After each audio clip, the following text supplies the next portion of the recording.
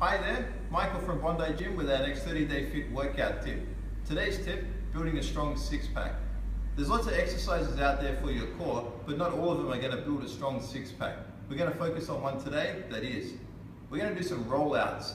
For that, we're gonna use our ab wheel. As you can see, it's got a couple of handles on there.